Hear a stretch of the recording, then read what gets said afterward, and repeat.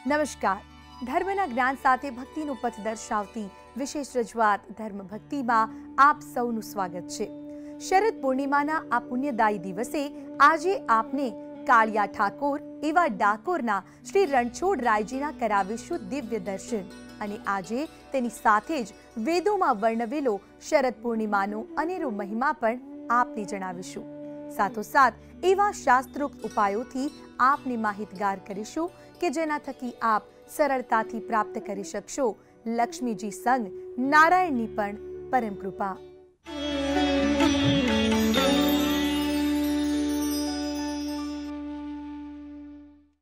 ગુજરાતમાં શ્રી કૃષ્ણના અનેક મંદિર આવેલા છે અને તેની કથાઓ પણ અનેક છે. તે બધાયમાં ડાકોરનો મહિમા કંઈક અલગ છે. કારણ કે દંતકથા અનુસાર અહીં સ્વયંની જ ઈચ્છાથી રણછોડ રાયજીનું પ્રાગટ્ય થયું છે. ભક્તોની શ્રદ્ધા જ તો છે કે જેને કારણે કાળિયા ઠાકોરના આ મંદિરમાં બારે માસ ભક્તોની ભીડ જોવા મળે છે. અને આ ભીડ જ એ વાતની સાક્ષી પૂરે છે કે ભક્તોને આજે પણ અહીં થાય છે રણછોડ રાયજીના સાક્ષાત્કાર.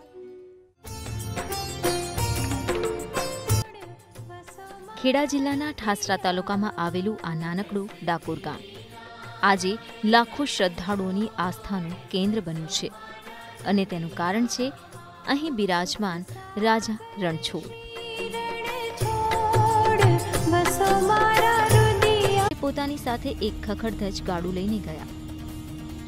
પૂજારીઓએ ગાડું લઈને આવવાનું કારણ પૂછ્યું અને નિખાલસ સ્વભાવના બોડાણાએ કહી દીધું કે હું તો પ્રભુને લેવા આવ્યો છું.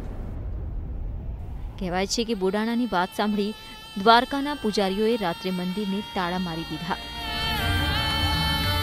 પણ વહાલા ઠાકોરને ભલા કોણ રોકી શકવાનું હતું? કહેવાય છે કે મંદિરે તાળા છતાં દ્વારકાધીશ તેમના વચન મુજબ બહાર નીકળી બોડાણાના ગાડામાં બેઠા. દ્વારકાથી થોડી જ દૂર જઈને તેમણે બોડાણાને આરામ કરવાનું કહી જાતે જ ગાડું હંકાર્યું અને એક જ રાતમાં ડાકોર આવી ગયા. આ તરફ સવારે મૂર્તિ ન જોતા દ્વારકા ગયો. કુગળીઓ મૂર્તિ લેવા ડાકોર આવ્યા. કહેવાય છે કે તેમનાથી મૂર્તિ બચાવવા બોડાણાએ તે મૂર્તિ ગોમતીમાં પધરાવી દીધી. ગુગળીઓએ ગુસ્સામાં બોડાણા પર ભાલાથી પ્રહાર કર્યા અને બોડાણાનું મૃત્યુ થયું. અને તે સાથે જ ગોમતીમાં રહેલી મૂર્તિની આસપાસનું બધું જ પાણી પણ લાલ થઈ ગયું. મૂર્તિને લઈને વિવાદ વધ્યો. કહેવાય છે કે ત્યારે દ્વારકાના પૂજારીઓએ ઉક્તિ અજમાવીને કહ્યું, કે જો ભગવાનને ડાકોરમાં રાખવા હોય, તો મૂર્તિના વજન જેટલું જ સોનું મુકાવો. તેઓ જાણતા હતા કે બોડાણો ગરીબ માણસ હતો. તેની પત્ની એટલું સોનું નહીં આપી શકે અને કૃષ્ણ ભગવાનની મૂર્તિ દ્વારકામાં જ રહેશે. બોડાણાના પત્ની ગંગાબાઈ પાસે સોનાના નામે માત્ર નાકની એક વાળી જ હતી. કહેવાય છે કે ગંગાબાઈએ જ્યારે ત્રાજવામાં મૂર્તિ સામે તેમની વાળી મૂકી, ત્યારે માત્ર એ એક જ વાળીથી પ્રભુની મૂર્તિ તોલાઈ ગઈ. હકીકતમાં આ વજન તો હતું ગંગાબાઈની શ્રદ્ધાનું. અને પછી તો તે મૂર્તિ અહીં જ સ્થાપિત થઈ ગઈ.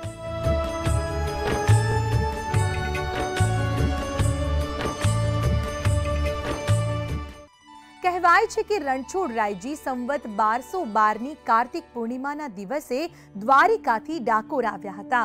અને એ જ કારણ છે કે અહીં પૂનમના દર્શનનો છે વિશેષ મહિમા. આમ તો અહીં દર માસની પૂનમે ભક્તોની ભીડ ઉમટી પડે છે. પણ ખાસ કરી માણેક ઠારી પૂનમ એટલે કે આજ રોજ શરદ પૂનમના મેળાનો સવિશેષ મહિમા રહેલો છે. શરદ પૂનમના પવિત્ર દિવસે ભક્તો અહીં દૂર દૂરથી પગપાળા ચાલીને દર્શનાર્થે આવે છે. ડાકોરના ઠાકોરના દરબારમાં પૂનમ ભરવાનો પણ મહિમા છે. કેટલાય શ્રદ્ધાળુઓ પૂનમના રોજ આમ ધજા લઈને પ્રભુના દર્શને આવે છે. રણછોડ રાયજીને ધજા અર્પણ કરવાનું પણ અનેરું જ મહાત્મય છે. આમ તો દર પૂનમે અહીં ભક્તોની ભીડ ઉમટતી જ હોય છે, પણ અહીં સૌથી વધુ મહિમા તો છે ફાગણી પૂનમનો હોળી ધૂળેટીના અવસરે અહીંનો માહોલ કંઈક વધારે જ ભવ્ય ભાસે છે. સૌ પ્રથમ કારતક સુદ પૂનમ જે ભક્ત બોડાના ડાકોર લઈ આવ્યા એ પૂનમ બહુ મહત્વની છે. અને ત્યાર પછી પદયાત્રિકો અમદાવાદથી ચાલતા આવે છે. તે ફાગણી પૂનમ છે. આ બે મોટી પૂનમો છે. ભક્તોને રણછોડરાયજી પર સવિશેષ આસ્થા છે. રણછોડરાયજીના આશીર્વાદ માટે અને મનોવાંછિત ફળની પ્રાપ્તિ માટે ભક્તો અહીં પૂનમ ભરવાની માનતા માને છે. અને કહેવાય છે કે રણછોડરાયજી કોઈને પણ નિરાશ નથી કરતા.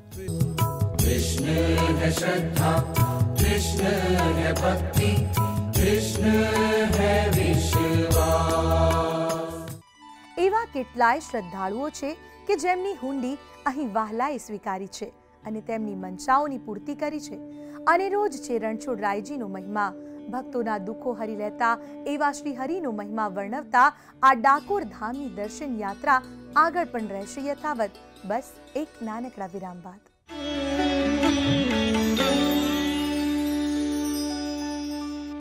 કહેવાય છે કે જે ઋણથી છોડાવે તે રણછોડ.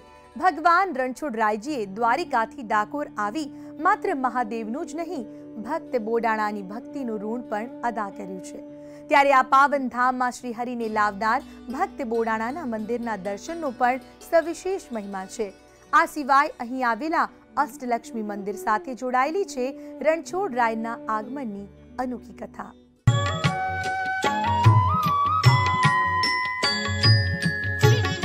અહીં મંદિરમાં ભક્તોને ભક્ત બોડાણા અને તેમના પત્ની ગંગાબાઈના દર્શન થઈ રહ્યા છે. વિશ્વમાં ભાગ્યે જ કોઈ સ્થાન પર આ રીતે ભક્તના મંદિરના દર્શન થતા હશે.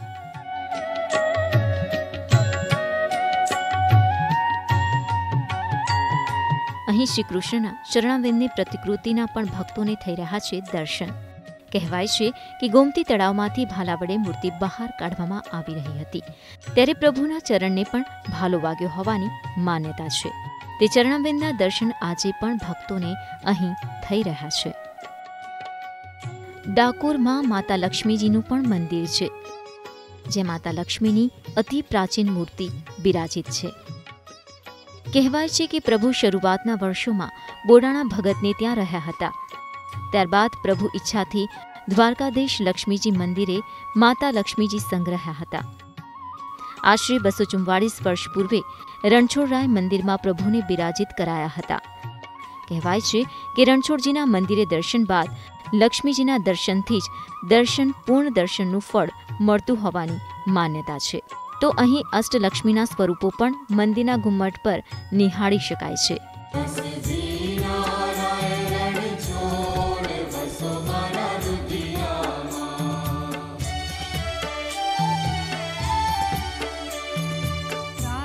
અહીં સવારથી રાત સુધીમાં પ્રભુની પાંચ આરતી થાય છે અને તેમને આઠ ભોગ લાગે છે. તો સૌથી મહત્વની વાત તો એ છે કે અહીં તો ખુલ્લા બારણે જ થાય છે પ્રભુનો અદ્ભુત શણગાર.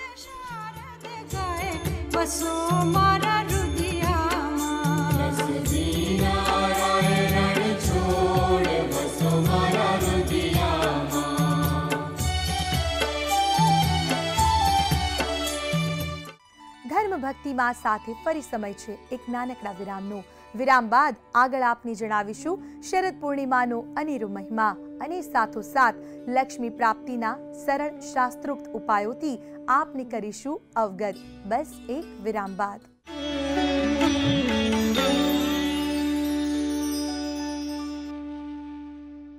વિરામ બાદ આપનું સ્વાગત છે ધર્મ ભક્તિમાં આમ તો વર્ષભર આપણે અનેક પૂનમો માણીએ છીએ.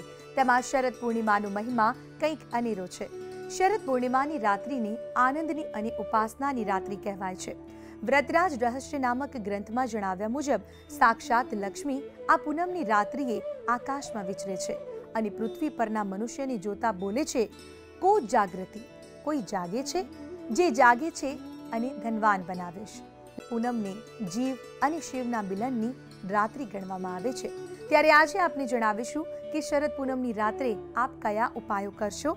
અને શાસ્ત્રોમાં એવી કઈ વિધિ અને મંત્રો આપવામાં આવેલા છે જેના થકી આપને પ્રાપ્ત થશે લક્ષ્મીજીની પરમ કૃપા? આ જ વિશે વધુ માહિતી આપી રહ્યા છે ડોક્ટર કૃષ્ણકુમાર શાસ્ત્રીજી. નમસ્કાર.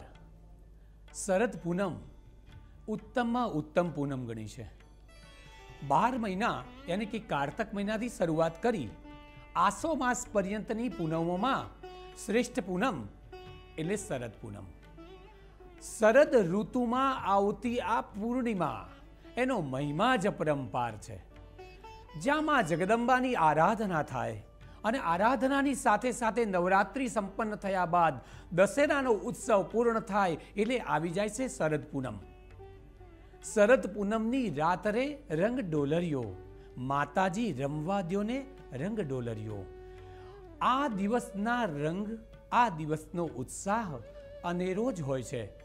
અહીંયા ઉત્સવ કેમ છે? આ અનેરો ઉત્સવ કેવી રીતે ઉજવવામાં આવે છે? જાણીએ એનો મહિમા. શરદ પૂનમની શક્તિ એ મનુષ્યની અંદર એક શક્તિનો સંચાર કરનાર છે.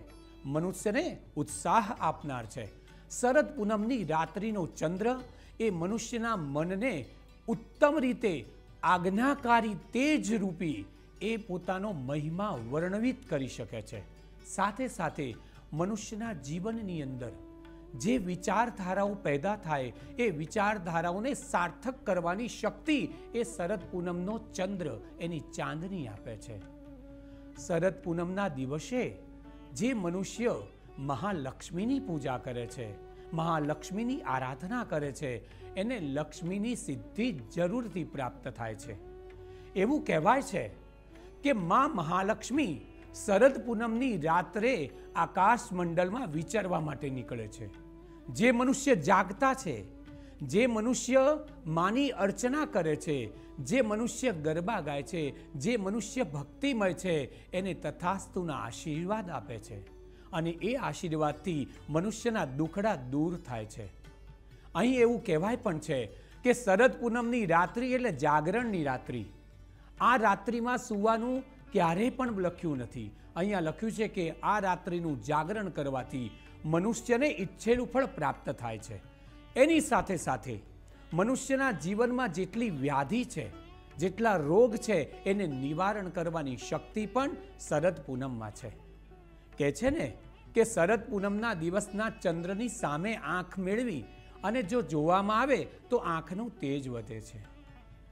ઘરડા લોકો તો સોયની અંદર દોરો પૂરવવાનું એક સત્કાર્ય કરતા અને એનાથી પૂરેપૂરું ધ્યાન આપીને જ્યારે એ કામ કરતા ત્યારે એમની આંખમાંથી તેજની વૃદ્ધિ થતી. ચક્ષુના નેત્રની તેજ વૃદ્ધિ માટે પણ શરદ પૂનમનો દિવસ એ રાત્રિ એ ઉત્તમ રાત્રિ છે.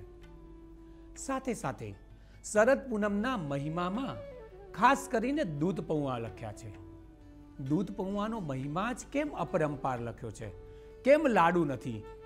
અહીં એવું લખ્યું છે કે જે મનુષ્ય સંધ્યાકાળ થયા પછી દૂધને બરાબર ગરમ કરી ઉકાળીને એની અંદર પૌવા નાખી, અંદર કેસર, એલચી અને જાયફળ આટલું અંદર પધરાવી અને ચાંદનીમાં મૂકે છે. અને એ ચાંદની પૂરેપૂરી એને પ્રાપ્ત થાય જ્યારે ઘડિયાળના બે કાંઠા એકત્રિત થાય, યાની કે રાત્રે બાર વાગે ત્યાં સુધી આ શરદ પૂનમની રાતમાં દૂધ પૌવાને ત્યાં મૂકવાના છે. અને આકાશમંડળને જ્યારે દર્શિત કરી અને આ મૂકવામાં આવે પોતાની અગાસી, પોતાના ધાબાની ઉપર, પોતાના પતરા ઉપર મૂકી અને ચાંદની એની અંદર સ્થિર થાય એવી સદભાવના સાથે મૂકજો. અહીં એવું લખ્યું છે. કે જે વ્યક્તિ આ દૂધ પૌવા રાત્રે બાર વાગ્યા પછી આરોગે છે, એના મનની સ્થિરતાઓ વૃદ્ધિ પામે છે, પિત્ત આદિ રોગ નષ્ટ થાય છે અને માથાનો જેને દુખાવો છે માઇગ્રેન વગેરે છે, એ પણ નષ્ટ થાય છે. ચંદ્રની ચાંદની આજ રાત એવી છે કે જે સોળે કળાએ ખીલે છે. આપ જાણો છો બાર મહિનાની બાર પૂનમો. પરંતુ આસો મહિનાની શારદીય નવરાત્રિ પછીની આવતી પૂનમ. એમાં ચંદ્ર સોળે કળાએ હોવા થકી, અમા નામની સોળમી કળા. આ સોળે સોળ કળા હોવા થકી મનુષ્યનું જીવન એ સોળે કળાએ ખીલી ઉઠે છે. અને ઇતિહાસ પણ છે આપણી પાસે. પુરાણોમાં એટલું બધું શરદ પૂનમનું વર્ણન છે કે વાત જ મત પૂછો. અહીં બતાવ્યું છે કે શરદ પૂનમના દિવસે ભગવાન કૃષ્ણએ પણ પોતાની સાથેની સહેલીઓ સાથે, સખીઓની સાથે વનરા વનની અંદર રાસ રચાવ્યો હતો. સામાન્યતઃ મનુષ્યો રાત્રે સૂઈ જાય છે. આ રાત્રિના જાગરણ માટે ભગવાન કૃષ્ણએ વનરાવનની અંદર રાસ રાખ્યો હતો અને એ રાસ રાખી અને દરેક વ્યક્તિઓ એમાં જોડાય. દરેક વ્યક્તિઓ ઉત્સાહથી એ ચાંદની ગ્રહણ કરે અને એ સોળ કળા શરીરમાં પ્રાપ્ત થવા થકી એમના રોગ નષ્ટ થાય એવી સદભાવના સાથે આ રાસ રચાતો હતો. રાસ એટલે જ ગુજરાત પ્રદેશની અંદર તો ખાસ પૂનમના ગરબા રખાય છે. અને ગરબાને રાસ રમવા થકી મનુષ્ય એનું ઈચ્છેલું ફળ પણ પ્રાપ્ત કરે. માં જગદંબાની કૃપા પણ મેળવે. મહાલક્ષ્મીની અમી કૃપા પણ પ્રાપ્ત થાય છે. અહીં મહાલક્ષ્મીની કૃપા, અંબાની કૃપા અને શારીરિક સ્થિરતા અને યૌવનની જાગૃતિ માટે પૂર્ણિમાના દિવસે જાગરણ કરવું એ યોગ્ય અને ઉત્તમ ગણાય છે. શરદ પૂનમનો બીજો પણ મહિમા છે. શારદીય યાની કે શરદ ઋતુ છે ને, એ રોગની માતા છે. આ સમયમાં રોગ જલ્દીથી જાગૃત થાય છે. શરીરમાં રોગ ઉત્પન્ન કરવા માટે એ શારદીય સમય એ બહુ ઉત્તમ ગણ્યો છે અને માટે જ શરદ ઋતુની અંદર દવાખાનાઓ વધારે ઉભરાતા જોવા મળે છે. જો દવાખાનાથી બચવું હોય, રોગથી બચવું હોય, તમારે કોઈ પણ પ્રકારના ઉપચાર ન કરાવવા હોય તો શરદ પૂનમના દિવસનું વ્રત કરજો. મતલબ કે દિવસ દરમિયાન આપ અન્ન ગ્રહણ ન કરશો.